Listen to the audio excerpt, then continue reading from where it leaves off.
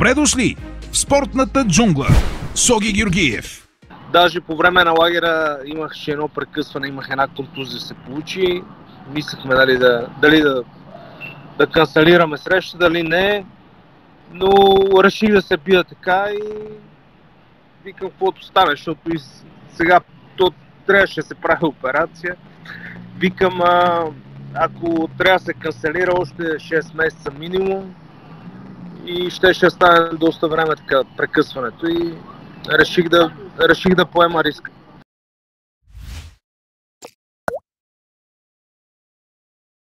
Скъпи приятели, прекрасна новина дойде от Феникс, Аризона. Тази нощ Благо Иванов Багата се завърна с победа в октагона на UFC. Предполагам, по-голямата част от вас са гледали матч с Маркос Рожерио Делима. Багата спечели с съдийско решение в матч, който не тръгна много добре за него. Той отстъпи първия рунд, във втория изравни играта и в третия вече доминираше, за да спечели с единодушно съдийско решение 29 на 28 и в трите съдийски карти. Имах възможност да поговоря с Багата буквално часове след неговата победа и малко след като приключи цялата изключителна гала вечер UFC 274. Извинявам се за лошото качество на звука и на картината, но обстоятелствата бяха такива. Багата нямаше кой знае колко батерия в телефона, беше малко шумно около него, но важното е, че имахме шанса да чуеме от първа ръка какво мисли Благо Иванов Багата за случилото след, след матча. Той ще разкрие някои много интересни подробности, които беше запазил в тайна по време на интервюто, което направихме преди срещата. Това интервю може да видите веднага след видеото. Оказва се, че Багата е бил пред отказване от самата среща заради първата контузия, която е получил в коляното. Освен това, в предаването ще обърнем внимание и на останалите срещи, най-интересните битки от UFC 274, както и на голямата изненада в света на бокса, загубата на Канело Алварес от Дмитрий Биво. Поговорихме в предишното интервю за обстоятелствата, които могат да попречат на мексиканеца да запише поредна победа и да вземе 13-та титла в своята професионална кариера. Оказва се, че Канело стъпи на бананова кора или на динена кора, както предпочитате. Сега първо ще започнем с интервюто, а след това ще обърнем внимание и на останалите неща.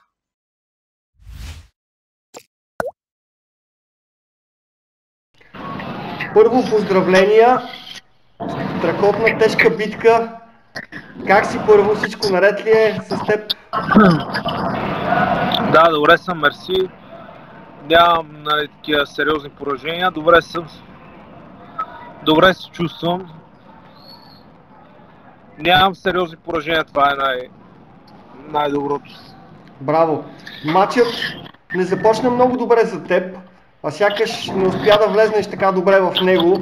Първия рунд или това ти беше част от тактиката, както говорихме с теб в интервюто? По принцип, да, така ми беше тактиката да бъда по-предпазлив в първия рунд и той нали, така фърляше по 3-4-5 удара в серия и де-факто той нали, втория рунд намали темпото, втори и третия рунд. По принцип неговия първи рунд винаги е силен и повечето срещи нали, са приключване в първия рунд. Така че това ни беше тактиката. Вече нали, и с Хавиер, нали, това го говорихме няколко пъти. Така да тръгне самата среща. Значи след това а, след първия рунд вече той каза, трябва да почне да натискаш и така. На целите няколко пъти, доста чисто и тежко. Имаш ли момент, в който беше позамаян или не бяха това най-тежките удари, които си получавал? Не, не, не. Не. Играл съм с по-големи удрачи, но ударите му бяха плътни, да. Не е човек, който е за подценяване. Във втория рунд излезе тотално преобразен, понатисна го, но въпреки това беше доста равностойно втората част. Ти му вкараш удар, той ти вкара, ти му вкараш, той ти вкара. А, реално втори рунд се оказа решаваш за крайния изход, нали така? Защото ти в третия беше много по-убедителен. Еми да, то втория рунд по принцип тактиката нали, беше да го пресирам през цялото време и а, да върва напред и мисля, че заради това спечелих и срещата. Усети ли в един момент, че той е наранен? Защото имаше две или три ситуации, да, на които... два пъти, на два пъти. Един път, когато му отворих ръката, той тръгна да се фаща за мене. По очите му се видя, че... Hey, thank you, thank you. Yeah, thanks, appreciate. Thanks, thanks. Uh, yeah, uh, беше така наране, когато му отворих ръката, го усетих, нали, тръгна да се фаща за клинч, после един път пак го ударих много чисто и пак тръгна да се фаща за клинч, но по очите му се виждаше, че почти се е предал. Когато дойде време за съдийското решение, признавам си аз пред екрана ми претръпна и си спомних предишните два мача, в които отново равностойни битки, един на два съдийски гласа загуба за тебе. Какво ти минаваше през главата? Еми, по принцип нищо не минаваше. Аз направих това, което трябва да направя. Дал всичко от себе си и вече не знам как е било отстрани. Това е. Не мога Можеше, можеше да тръгна нали, да го отказвам за нокаут, да го... Но просто така ни беше тактиката. А беше ли уверен, че печелиш матча преди да убиват решението? Еми да, но аз и предните два матча с Дерек Куис, когато бях, аз бях на 100% уверен, че го печела, печела среща, но не иска да правя такива пред, предположения, просто каквото такова. Първа победа за теб от много време насам. Какво е усещането сега? Падна ли един товар от плещите, още повече, че две години те нямаше в клетката? Еми да, две години са доста време така да не се бие един човек, но аз не съм спирал и да правя спаринги, да съм в залата. Има така малко напрежение, но това е нормално и това е хубаво да го има напрежението. Например, за последната ми среща, когато играх 2020 година с бразилеца, почти никакво напрежение няма. И мисля, че нали, добре се представих за две години без... Даже по време на лагера имах едно прекъсване, имах една контузия се получи. Мислехме нали, да, дали да, да канцелираме среща, дали не. Но реших да се бия така и викам каквото стане, защото и сега то трябваше да се прави операция. Викам, а, ако трябва да се канцелира още 6 месеца минимум, и ще ще стане доста време така прекъсването и реших да, реших да поема риска. Какъв беше проблема? Пак ли с коляното или нещо друго беше? Еми да, с коляното почна да ми блокира кръка на една тренировка и е, без почти никакво, никаква ситуация. И за една седмица целият крак ми беше блокирал и бях една седмица нищо не правих почти. А това са, например, три седмици преди срещата, най-решаващите се. Сега ще правиш ли операция или ще оставиш така нещата? Еми, е, сигурно, защото аз не мога да тренирам така, но ще хода на прегледи, доктори и така нататък.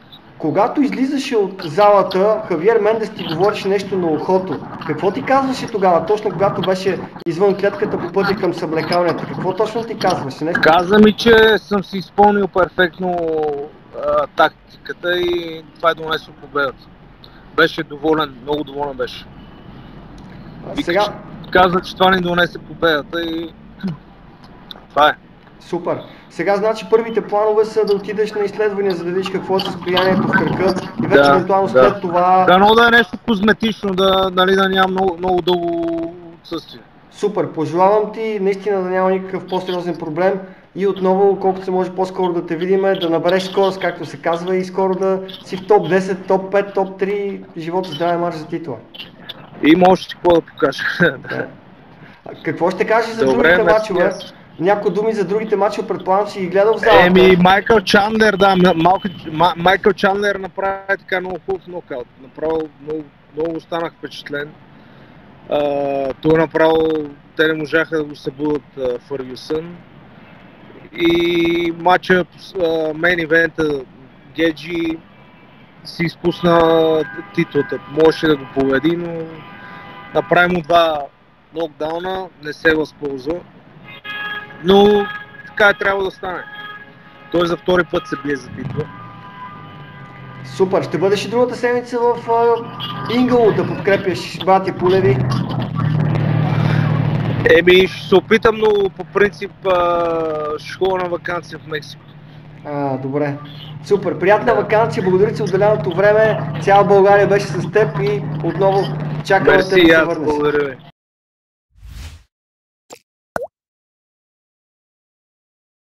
Още няколко събития се случиха на UFC 274. Чарлз Оливейра трябваше да защитава титлата в лека категория, но той загуби пояса още на кантара след изключително странни обстоятелства. Оказа се, че контролния кантар е давал фалшиви килограми с половин паунд и е подлъгал, кажи речи, всички бойци, които участваха в UFC 274. Най-голямата жертва е Чарлз Оливейра. Той просто не успя да мине кантара с въпросния половин паунд, но въпреки това излезе и показа на какво е способен срещу Джастин Гейчи.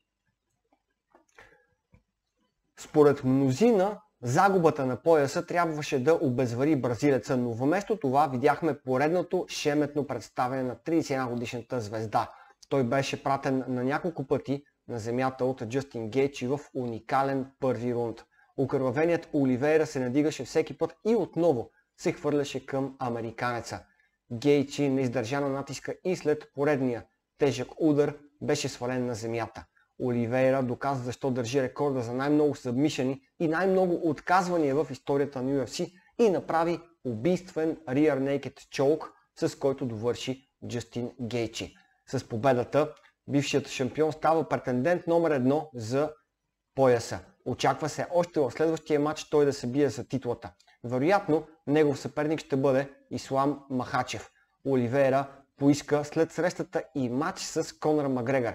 Същото стори и Майкъл Чендлър, който направи един от най-бруталните нокаути, виждани някога в октагона на UFC. Срещата не започна добре за Чендлър, който имаше сериозни неприятности, но във втория рунд, още в самото начало, с уникален преден кик, той приспа легендата Тони Фъргюсън, който преди това направи изключително представяне. Фъргюсън дълго време лежеше на земята, изглеждаше напълно безжизнен, но в крайна сметка беше свестен. След матча Чендлър обяви, че е готов да се качи в горната полусредна категория, за да се бие с Конор Макгрегор.